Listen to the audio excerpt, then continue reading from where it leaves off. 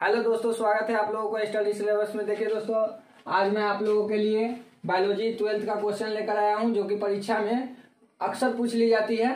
तो देखिए दोस्तों, क्वेश्चन है प्लाज्मिक डीएनए एवं क्रोमोसोमल डीएनए में अंतर। ठीक है दोस्तों? तो देखिए दोस्तों, हम लोग आज पढ़ेंगे प्लाज्मिक डीएनए एवं क्रोमोसोमल डीएनए में अंतर। तो देखिए दोस्तों प्लाज्मिक डीएनए में एक नंबर में क्या है?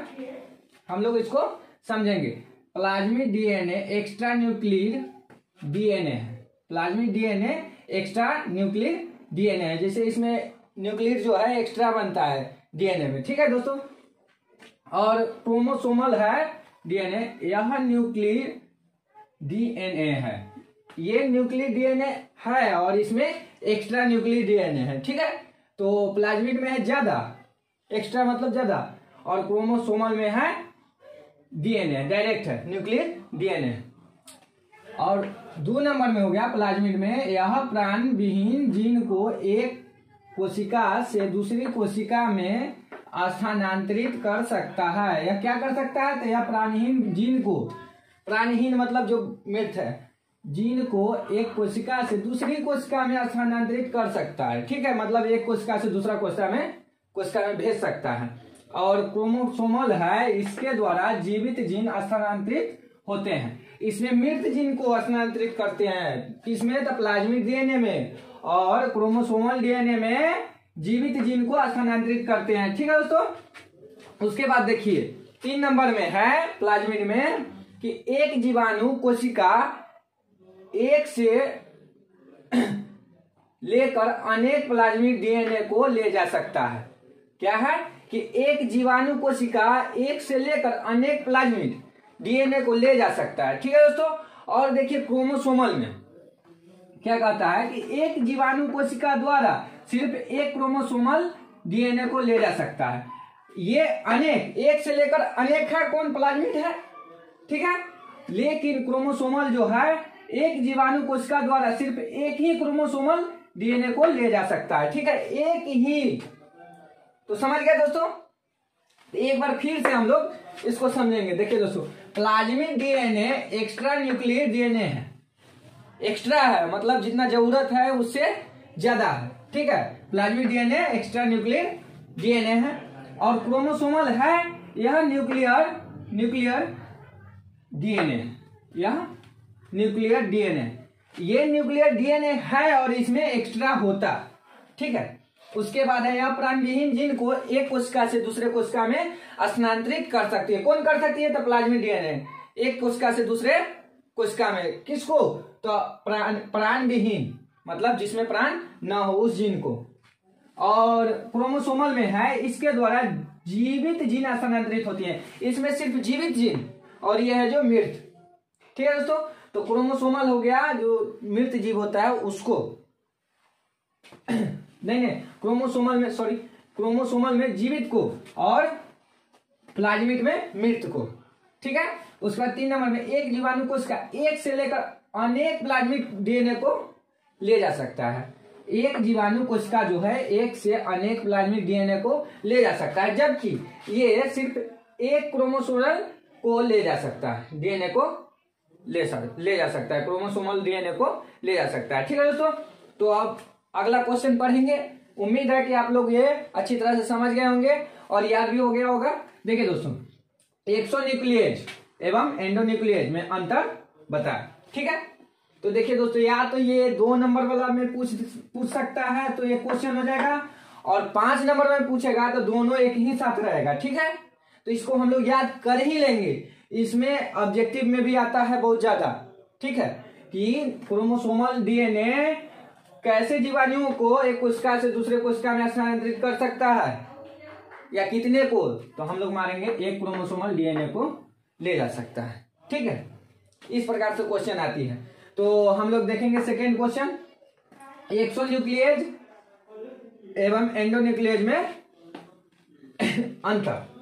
तो देखिए दोस्तों, एक नंबर में है। एक्सो न्यूक्लियज एंजाइम बाहरी किनारे से डीएनए को अलग करता है। एक्सोन्यूक्लियज एंजाइम जो है, बाहरी किनारे से डीएनए को अलग करता है। बाहरी किनारे से, ठीक है? और एंडोन्यूक्लियज एंजाइम एंडोन्यूक्लियज एंजाइम अंदर के डीएनए को काटता है। ये जो है एक्सोन्यूक्लियज ये बाहरी किनारे के डीएनए को अलग करता है। और जबकि एंडोन्यूक्लियज है कि अंदर के डीएनए को काट देता है। समझे? एंडोन्यूक्लियज एंजाइम जो है अंदर के डीएनए को काट देता है और ये अलग करता है। एक्सोन्यूक्लियज अलग करता है। ठीक है? अब दो नंबर में देखेंगे। अलग किए गए खंड सामान्यतः छोटे न्यूक्लियो न्यूक्लियोटाइड होते हैं। ठीक है? अलग किए गए खंड सामान्यतः छोटे न्यूक्लियोटाइड होते हैं।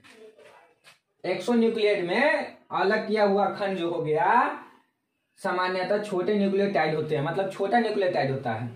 और एंडोन्यूक्लियड में है कि पृथक किए गए खंड, सामान्यतः बड़े न्यूक्लियोटाइड होते हैं। ये छोटा होता है तो ये बड़ा होता है। मतलब एंडोन्यूक्लियड जो है, काटता है डीएनए को एंजाइम अंदर के डीएनए को काटता है तो क्या हो जाता है? न्यूक्लियोटाइड बड़ा हो जाता है, ठीक है? बड़ा होते हैं। और इसमें जब अलग करता है तो छोटा हो जाता है, ठीक है? यही हम लोगों को समझना है। जब ये अंतर हमको याद रहेगा कि ये बड़ा है तो वो छोटा है, ये अलग करता है तो वो करता है। तो ऐसे में हमको क्वेश्चन याद हो जाती है। ठीक है दोस्तों? तो हम लोग इसी बात पे गौर करेंगे कि इसमें क्या है जो इसमें नहीं है। ठीक है दोस्तों?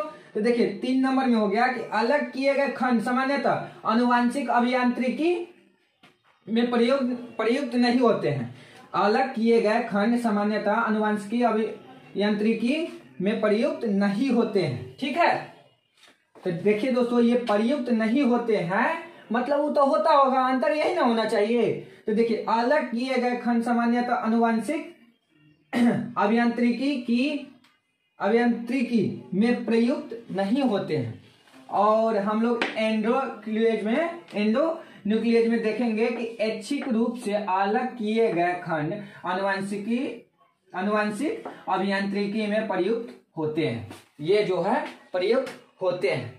तो ठीक है दोस्तों, एक बार और समझेंगे हम लोग। एक्सो न्यूक्लियज एंजाइम बाहरी किनारे से डीएनए को अलग करता है। ठीक है दोस्तों, अलग कर देता है। एक्सो न्यूक्लियज और ये जो है एंडोन्यूक्लियस जो है, एंजाइम अंदर के डीएनए को काट देता है। तो ये जो है, अलग कर दिया मतलब भगा दिया, और ये जो है, काटिए दिया। ठीक है? एक्सोन्यूक्लियस जो है काटिए दिया मतलब अलग कर दिया एंडोन्यूक्लियस जो है, काट दिया। अब इस, इसमें जो अलग किया, वो सामान्यतः छोटे न्यूक्लियोटाइड न्यूक्लियोटाइड होते हैं, ठीक है? जिसको जो अलग किया तो छोटा हो गया, ठीक है? और एंडोन्यूक्लियर जो हो गया सामान्यतः तो बारह हो गया, ठीक है? अलग किए गए खंड सामान्यतः अनुवंशिक अभियंत्रिकी में प्रयुक्त नहीं होते हैं। ये प्रयुक्त नहीं होते हैं। और ये अच्छिक रूप से अलग किए गए खंड अनुवंशिक अभियंत्रिकी में प्रयुक्त होते हैं। ठीक है दोस्तों तो उम्मीद है आप लोगों को पूरा याद हो गया होगा और ये हमारा वीडियो आपको पसंद आया होगा। देखिए दोस्तों, अगर वीडियो अच्छा हो अच्छा लगा हो तो कृपया अपने दोस्तों के साथ भी शेयर कर ले। और हाँ अगर आपने हमारे चैनल से नहीं जुड़े हैं तो आज ही जुड़ जाए, क्योंकि बहुत ही तेज़ी रूप से क्लास चलेगी ट्वेल्थ क्लास की। और परीक्षा जो है सामने में है तो हमें जल्दी जल्दी कोर्स कंप्लीट करना होगा। ठीक है दोस्तों? तो वीडियो देखने के लिए